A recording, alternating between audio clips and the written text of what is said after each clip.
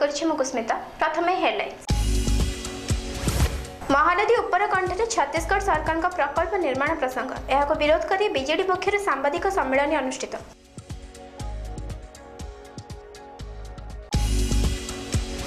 ଭାରତୀୟ ମଜଦୁର ସଂଘର ଷାଠିଏ ବର୍ଷ ପୂର୍ତ୍ତି। ଲୋୟର ପିଏମ୍ଜି ଛକ ନିକଟରେ ବିଶାଳ ରାଲିର ଆୟୋଜନ। राज्य राजले छ प्रशासन विभागीय कर्तृपक्ष उदासीनता दुईदिन श्रीनगर गस्तैले गृहमन्त्री राजनाथ सिंह लोक सिधासल सम्पर्क कले राजनाथ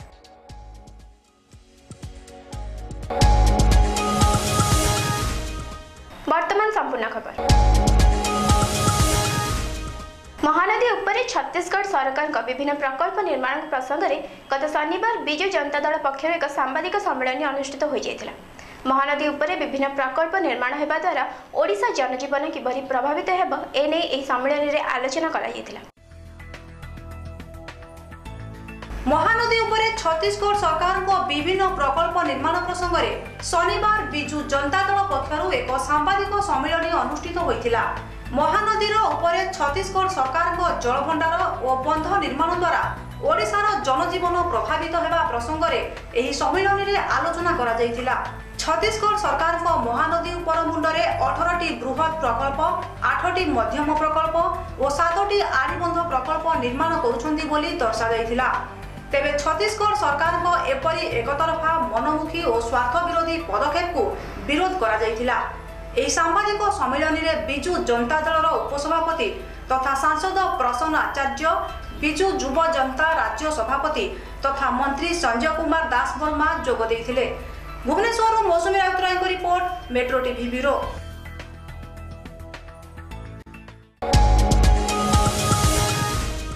ଭାରତୀୟ ମଜଦୁର ସଂଘର ଷାଠିଏ ବର୍ଷ ପୂର୍ତ୍ତି ଉପଲକ୍ଷେ ଲୋୟର ପିଏମ୍ଜି ଛକଠାରେ ଏକ ବିଶାଳ ରାଲି ଆୟୋଜିତ ହୋଇଥିଲା। ଏହି ରାଲିରେ ଶତାଧିକ ଅଙ୍ଗନବାଡି କର୍ମୀ ପେନସନ କର୍ମୀ ତଥା ବିଭିନ୍ନ କର୍ମଚାରୀମାନଙ୍କୁ ସୁରକ୍ଷା ଦେବା ପାଇଁ ଦାବି କରାଯାଇଥିଲା। ଏହି ବିଶାଳ ରାଲିରେ ରାଜ୍ୟର ପ୍ରାୟ ସମସ୍ତ ଜିଲ୍ଲାର ଶ୍ରମିକ କର୍ମଚାରୀମାନେ ଯୋଗ ଦେଇଥିଲେ। ଭାରତୀୟ ମଜଦୁର ସଂଘ ଷାଠିଏ ବର୍ଷ ପୂରଣ ଉପଲକ୍ଷେ ଶନିବାର ଲୋୟର ପିଏମ୍ଜି ଠାରେ ଏକ ବିଶାଳ ରାଲିର ଆୟୋଜନ କରାଯାଇଥିଲା। ଏହି ରାଲିରେ ଅଙ୍ଗନବାଡି କାମ କରୁଥିବା ପ୍ରାୟ ଅଠେଇଶ ଲକ୍ଷ କର୍ମଚାରୀମାନଙ୍କ ସୁରକ୍ଷା ପେନସନ ଯୋଜନାକୁ କାର୍ଯ୍ୟକାରୀ କରିବା ବିଭିନ୍ନ ସାମାଜିକ ସୁରକ୍ଷା ମତ୍ସ୍ୟଜୀବୀଙ୍କ ପାଇଁ କଲ୍ୟାଣମୂଳକ ଯୋଜନା ସମ୍ପର୍କରେ ଦାବି କରାଯାଇଥିଲା। ଏଥିରେ ରାଜ୍ୟର ପ୍ରାୟ ସବୁ ଜିଲ୍ଲାରୁ ବିଭିନ୍ନ ଶ୍ରମିକ କର୍ମଚାରୀମାନେ ଯୋଗଦାନ କରିଥିଲେ। ଭାରତୀୟ ମଜଦୁର ସଂଘର ସଂଗଠନ ସମ୍ପାଦକ କୃଷ୍ଣଚନ୍ଦ୍ର ମିଶ୍ର ସମ୍ପାଦକ ଗୋକୁଳନନ୍ଦ ଜେନା ବସନ୍ତ ସାହୁ ଭଳି ବହୁ ପ୍ରମୁଖ ନେତୃବୃନ୍ଦମାନେ ମଧ୍ୟ ଯୋଗ ଦେଇଥିଲେ। ଭୁବନେଶ୍ୱରରୁ ମୌସୁମୀ ରାଉତରାୟଙ୍କ ରିପୋର୍ଟ ମେଟ୍ରୋ ଟିଭି ବ୍ୟୁରୋ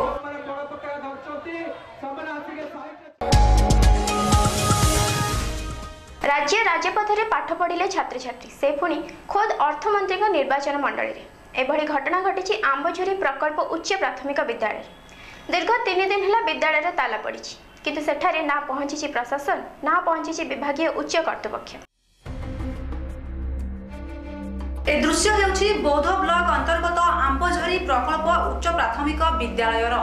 ଏହି ବିଦ୍ୟାଳୟରେ ପ୍ରଥମରୁ ଅଷ୍ଟମ ଶ୍ରେଣୀ ପର୍ଯ୍ୟନ୍ତ ଏକାଅଶୀ ଜଣ ଛାତ୍ରଛାତ୍ରୀ ଅଧ୍ୟୟନ କରୁଥିବା ବେଳେ ଏଠାରେ ରହିଛି ମାତ୍ର ଗୋଟିଏ ଶ୍ରେଣୀ ଗୃହ ଯେଉଁ ଶ୍ରେଣୀ ଗୃହର ସମସ୍ତ ଛାତ୍ରଛାତ୍ରୀ ପାଠ ପଢୁଛନ୍ତି ଯାହା ଫଳରେ କି ପାଠ ପଢାରେ ବ୍ୟାଘାତ ସୃଷ୍ଟି ହେଉଥିବା ବେଳେ ଶିକ୍ଷକ ଶିକ୍ଷୟିତ୍ରୀ ମାନେ ମଧ୍ୟ ଉପଯୁକ୍ତ ଶିକ୍ଷାଦାନରୁ ବଞ୍ଚିତ ହେଉଥିବା ଅଭିଯୋଗ ହୋଇଛି। ଏହି ଶ୍ରେଣୀ ଗୃହରେ ବିଦ୍ୟାଳୟର ଆସବାବପତ୍ର ସାଙ୍ଗକୁ ମଧ୍ୟାହ୍ନ ଭୋଜନର ସାମଗ୍ରୀ ମଧ୍ୟ ରଖାଯାଇଛି। ସେଭଳି ଅନ୍ୟ ଏକ ଶ୍ରେଣୀ ଗୃହରେ ଫଟା ଆଜବେଷ୍ଟ ତଳେ ଛାତ୍ରଛାତ୍ରୀମାନେ ପାଠ ପଢୁଥିବା ବେଳେ ବର୍ଷା ଦିନରେ ଓଦା ହୋଇ ଏମାନଙ୍କର ହନ୍ତସନ୍ତ ଅବସ୍ଥା ହୋଇପଡୁଛି। ଏଠାରେ ଏକ ଶୌଚାଳୟ ଅଛି ଯାହା ଜରାଜୀର୍ଣ୍ଣ ଅବସ୍ଥାରେ ପଡି ରହିଛି। ଅଷ୍ଟମ ଶ୍ରେଣୀ ଛାତ୍ରୀମାନେ ଶୌଚାଳୟ ନିମନ୍ତେ ବାହାରକୁ ଯାଉଥିବା କାରଣରୁ ସେମାନେ ନାହିଁ ନଥିବା ଅସୁବିଧାର ସମ୍ମୁଖୀନ ହେଉଛନ୍ତି। ତେବେ ନାହିଁ ନାହିଁରେ ଚାଲିଥିବା ଏହି ବିଦ୍ୟାଳୟର ସମସ୍ତ ଅସୁବିଧାର ସମାଧାନ କରିବାକୁ ସରକାରଙ୍କ ନିକଟରେ ଅନୁରୋଧ ହେଉଛି। କହିଗଲେ ସାର୍ ଅଫିସ୍ ଗଲା ସାର୍ କେହି ନା ଶୁଣିଲେ ସାର୍। ଏଠି ନୂଆ ଆଇକିନା କମିଟି ମାନେ ଆଇକିନା ସାର୍। ଚାଇ ପକେଇଛନ୍ ମାଷ୍ଟରମାନେ ପଢ଼େଇ ନା ବାଗିଆ ତାପରେ ସେ ଖାଦ୍ୟ ଘରର ପଇସା ଖାଇ ଦେଇଛେ ବାହାରେ କରାହେଉଛି ରୋଷେଇ। ଆଉ ଘର ପଇସା ବି କେତେ ଉଠେଇକି ଖାଇ ଦେଇଛନ୍ତି ଆଉ ସେଟା କହିଲାରୁ ମୁଁ ଆଉ ସେମାନେ ପାଠ ପଢ଼ିବାକୁ ଆସିଲେ ନାହିଁ କିଛି ନାହିଁ। ଅନୁଦାନ ଟଙ୍କା ସବୁ ସେ ଖାଇ ଦେଇଛନ୍। ଯେତେ କହିଲେ ମଧ୍ୟ ପରୀକ୍ଷା ଅଫିସରଙ୍କୁ ଜଣାଇଲେ ମଧ୍ୟ କର୍ଣ୍ଣପାତ କରୁନାହାନ୍ତି। ଏହି ବିଦ୍ୟାଳୟରେ ଦୀର୍ଘ ବର୍ଷ ଧରି ଅଧଖଣ୍ଡିଆ ଭାବେ ଏକ ଅତିରିକ୍ତ ଶ୍ରେଣୀଗୃହ ପଡ଼ି ରହିଥିବା ବେଳେ ଏହାର କାର୍ଯ୍ୟ ସମ୍ପୂର୍ଣ୍ଣ ହେବାର ନାଁ ଧରୁନାହିଁ।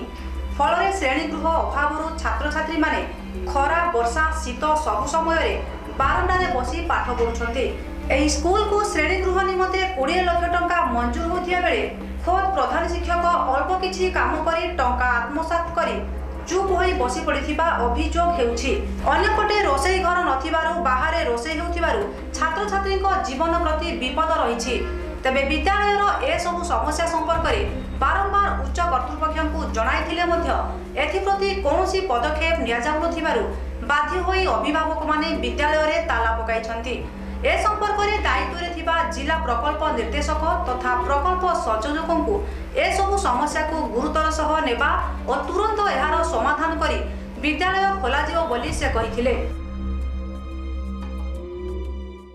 ଛୁଆମାନେ ପଢୁଛନ୍। ମାଷ୍ଟର ଯେତେ କହିନୁ ମାଷ୍ଟର ତାର ବିଲ୍ଡିଂ ବିଲ୍ ଉଠେଇ ଖାଇଯାଇଛି ସେ ବିଲ୍ କରି कलेक्टर डीओ फिओ जे जेतकी सब आगे जड़े केही सुनले कथा नहीं गार्डियन मैंने अभिभावक कमिटी समस्त मिसिक ताला पकड़ स्कूल रे आ में आम कहूँ ले ताला पकड़ ना आम बारंबार जिलापा को जनई 15 दुई रे आ 3 8 रे आ 13 7 रे माने हमर कोन प्रकार दाबी आज पर्यटन नै सुनले फिल्ड रिपोर्ट जिला जिलापा को देबी आ देखिबे एसएमसी सहित कौन प्रोब्लेम अच्छे स्कूल रो से बिल्डिंग रो कंस्ट्रक्शन हो कि से टीचर एब्सेंस ऊपर जा ସେମାନେ କହିଛନ୍ତି ତା ଆମେ ଏସ୍ ଏମ୍ ସହିତ ମିଟିଂ କରିକି କିଛି ଗୋଟେ ମୁଁ ତାକୁ ସମାଧାନ କରିବି।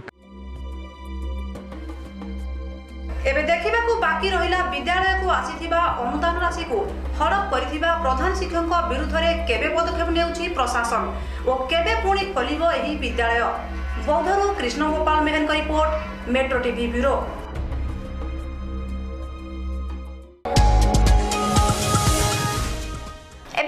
ସମୟ ହୋଇଯାଇଛି ଏକ ବ୍ରେକ୍ର ବ୍ରେକ୍ ପରେ ଦେଖିବା ଅନ୍ୟାନ୍ୟ ଖବର ଆମେ ପ୍ରତିଦିନ ନିଜକୁ ପ୍ରସ୍ତୁତ କରିଥାଉ ବିଭିନ୍ନ କାମ ପାଇଁ ହେଲେ ଦୁର୍ଘଟଣା ଦୁର୍ଘଟଣା ପାଇଁ ଆପଣ କେବେ ବି ପ୍ରସ୍ତୁତ ନଥାନ୍ତି ଖାସ୍ ସେଇଥିପାଇଁ ଆମେ ସବୁବେଳେ ପ୍ରସ୍ତୁତ Ashwini Hospital, multi speciality hospital and trauma care center. Presenting mind-boggling 7-day movie experience at Bhavani Mall, Bhubaneswar. Avail special discount on group booking. Visit today. ହାଟିଚ୍ୟୁଡ୍ business school ଏକ ନିର୍ଭରଯୋଗ୍ୟ ଶିକ୍ଷାନୁଷ୍ଠାନ ଆପଣମାନଙ୍କ ପାଇଁ ଆଣିଦେଇଛି ଅନେକ ଗୁଡ଼ିଏ ପାଠ୍ୟକ୍ରମ ଆଡମିସନ୍ ପାଇଁ ତୁରନ୍ତ ଯୋଗାଯୋଗ କରନ୍ତୁ BS one Amrita complex CRPF square Bhubaneswar phone number nine two three double eight four six zero five four Ganga Spa presents ultimate relaxing destination at Shaidnagar, Bhubaneswar. Trained therapist at your service with specialized skills. Get membership and avail special discounts throughout the year. LCC Shaidnagar. Join PGDCA, MDSC, DCA, Tally and lot more. Special discount for BPL card holders. Join today. Break ପରେ ସ୍ୱାଗତ ଖୋର୍ଦ୍ଧା ଜିଲ୍ଲା ବୋଲଗଡ଼ର କଡ଼କା ଗ୍ରାମ ଉପକଣ୍ଠରେ ଥିବା କାଜୁ ଜଙ୍ଗଲରେ ବହୁ ମାତ୍ରାରେ ସରକାରୀ ଔଷଧ ଜବତ କରାଯାଇଛି ଶୁକ୍ରବାର ସ୍ୱାସ୍ଥ୍ୟ ବିଭାଗ ଏହି ଔଷଧ ସବୁ ଠାବ କରିଛି ତେବେ ଏ ସମ୍ପର୍କରେ ବିଭାଗୀୟ ତଦନ୍ତ ଆରମ୍ଭ କରାଯାଇଥିବା କଥା ଜଣାପଡ଼ିଛି। ଖୋର୍ଦ୍ଧା ଜିଲ୍ଲା ବଲଗଡ଼ ବ୍ଲକ କଡ଼ିବ ଗ୍ରାମ ଉପକଣ୍ଠରେ ଥିବା କାଜୁ ଜଙ୍ଗଲ ମଧ୍ୟରେ ପର୍ଯ୍ୟାପ୍ତ ପରିମାଣର ସରକାରୀ ଯୋଗ୍ୟତା ଔଷଧ ପରିତ୍ୟକ୍ତ ଅବସ୍ଥାରେ ଶୁକ୍ରବାର ସ୍ୱାସ୍ଥ୍ୟ ବିଭାଗ ପକ୍ଷରୁ ଠାବ କରାଯାଇଛି। ଏନେଇ ଖୋର୍ଦ୍ଧା ପରିବାର କଲ୍ୟାଣର ସହକାରୀ ଜିଲ୍ଲା ଚିକିତ୍ସା ଅଧିକାରୀ ଘଟଣାସ୍ଥଳରେ ପହଞ୍ଚି ଜଙ୍ଗଲ ମଧ୍ୟରେ ପଡ଼ିଥିବା ଔଷଧଗୁଡ଼ିକୁ ଜବତ କରିବା ସହ ଏ ସମ୍ପର୍କରେ ବେଗୁନିଆ ଥାନାରେ ଲିଖିତ ଅଭିଯୋଗ କରିଛନ୍ତି। ଏହା ସହ ଔଷଧଗୁଡ଼ିକୁ କେଉଁ ସ୍ୱାସ୍ଥ୍ୟ କେନ୍ଦ୍ରକୁ ଦିଆଯାଇଥିଲା ଓ ଜଙ୍ଗଲକୁ କିପରି ପହଞ୍ଚିଥିଲା ତାର ବିଭାଗୀୟ ତଦନ୍ତ ଆରମ୍ଭ କରାଯାଇଥିବା ଜଣାପଡ଼ିଛି। କଡ଼ବ ଗ୍ରାମର ଦକ୍ଷିଣ ପାର୍ଶ୍ୱରେ ଥିବା ଜଙ୍ଗଲରେ ferrous sulphate folic acid tablet ଓ ସିରପ ବହୁ ପରିମାଣରେ ଫୋପଡ଼ା ଯାଇଥିଲା। ଏ ସମ୍ପର୍କରେ ସ୍ଥାନୀୟ ଲୋକମାନଙ୍କ ଠାରୁ ଖବର ପାଇ ଖୋର୍ଦ୍ଧା ଜିଲ୍ଲା ସ୍ୱାସ୍ଥ୍ୟ ବିଭାଗ ବାଙ୍କୋଇ ଗୋଷ୍ଠୀ ସ୍ୱାସ୍ଥ୍ୟ କେନ୍ଦ୍ରର ଫର୍ମାସିଷ୍ଟ ରଞ୍ଜିତ ନାୟକ ପିଏଚ୍ଓ ପୂର୍ଣ୍ଣଚନ୍ଦ୍ର ପଟ୍ଟନାୟକ ଓ ପିଚୁକୁଳି ପ୍ରାଥମିକ ସ୍ୱାସ୍ଥ୍ୟ କେନ୍ଦ୍ରର ଏଲ୍ଏଚ୍ବି ରେଣୁବାଲା ବିନ୍ଧାଣୀ ଘଟଣାସ୍ଥଳରେ ପହଞ୍ଚି ସେଠାରେ ପଡ଼ିଥିବା ଔଷଧଗୁଡ଼ିକୁ ଜବତ କରିଥିଲେ। ପରେ ସେଗୁଡ଼ିକୁ ଅଣାଯାଇ ବାଙ୍କୋଇ ଗୋଷ୍ଠୀ ସ୍ୱାସ୍ଥ୍ୟ କେନ୍ଦ୍ରରେ ରଖାଯାଇଥିବା ଜଣାପଡ଼ିଛି। ତେବେ ମିଳିଥିବା ସୂଚନା ଅନୁଯାୟୀ ଏହି ଔଷଧଗୁଡ଼ିକ ମଧ୍ୟରେ ପ୍ରାୟ ଏକ ହଜାର ସାତଶହ ବୋତଲ ସିରପ ଓ ଓ ପଚାଶ ହଜାରରୁ ଉର୍ଦ୍ଧ୍ୱ ଟାବଲେଟ୍ ଥିବାର ଆକଳନ କରାଯାଉଛି। ବୋଲଗଡ଼ରୁ ସୁରେଶ କୁମାର ସାମନ୍ତରାୟଙ୍କ report metro TV bureau.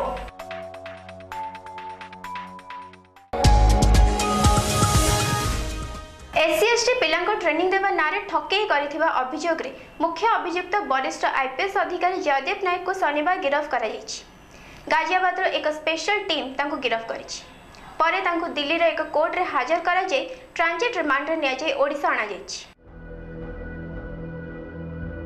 ଅଣାଯାଇଛି ଏସ୍ସି ଏସ୍ଟି ପିଲାଙ୍କୁ ଟ୍ରେନିଂ ଦେବା ନାଁରେ ଅଠାଅଶୀ ଲକ୍ଷ ଟଙ୍କା ଠକେଇ ମାମଲାର ମୁଖ୍ୟ ଅଭିଯୁକ୍ତ ବରିଷ୍ଠ ଆଇପିଏସ୍ ଅଫିସର ଜୟଦୀପ ନାୟକଙ୍କୁ ଶନିବାର ରାଜ୍ୟ ଭିଜିଲାନ୍ସ ବିଭାଗର ସ୍ୱତନ୍ତ୍ର ଟିମ୍ ଗାଜିଆବାଦରୁ ଗିରଫ କରିଛି। ଦିଲ୍ଲୀର ଏକ କୋର୍ଟରେ ହାଜର କରିବା ପରେ ତାଙ୍କୁ ଟ୍ରାନଜିଟ୍ ରିମାଣ୍ଡରେ ଓଡ଼ିଶା ଅଣାଯାଉଥିଲା। ଏ ସମ୍ପର୍କରେ ଭିଜିଲାନ୍ସ ନିର୍ଦ୍ଦେଶକ ଆର୍ପି ଶର୍ମା ସୂଚନା ଦେଇଛନ୍ତି। ପୂର୍ବରୁ ଆଣ୍ଠୁରେ ଲିଗାମେଣ୍ଟ ଅପରେସନ କରିବାକୁ ଦିଲ୍ଲୀର ସଫଦରଜଙ୍ଗ ହସ୍ପିଟାଲରେ ଭର୍ତ୍ତି ହୋଇଥିଲେ ଜୟଦୀପ। ସେଠାରେ ତାଙ୍କ ଚିକିତ୍ସା ପରେ ତାଙ୍କର କୌଣସି ପତା ମିଳିନଥିଲା। ଏସ୍ସି ଏସ୍ଟି ପିଲାଙ୍କୁ ଟ୍ରେନିଂ ନାଁରେ ଅଠାଅଶୀ ଲକ୍ଷ ଠକେଇ ଅଭିଯୋଗରେ ନାୟକଙ୍କ ସମେତ ଛଅ ଜଣଙ୍କ ବିରୋଧରେ ମାମଲା ରୁଜୁ କରାଯାଇଥିଲା। ଦୁଇ ହଜାର ପନ୍ଦରରେ Jaideep SC ST protection cell IG ଥିବା ବେଳେ କିଛି କର୍ମଚାରୀଙ୍କୁ ହାତ କରି ଅର୍ଥଗୁଡ଼ିକୁ ବାଟମାରଣା କରିଥିଲେ।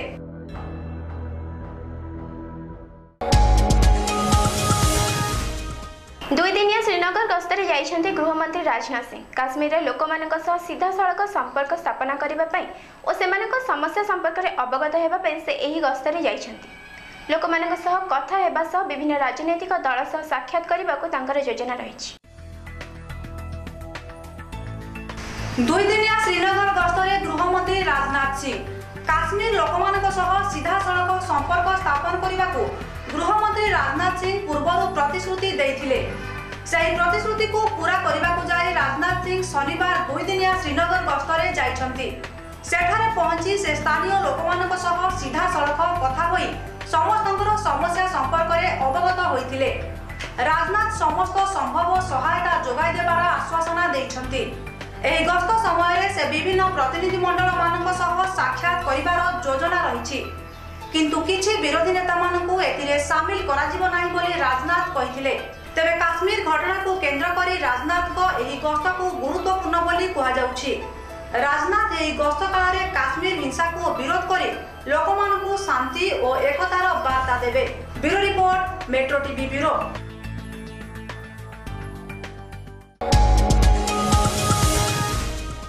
metro morning आज ये अधिक जाणी लगइन करेंगे आम website W W W dot metro T bureau dot com नमस्कार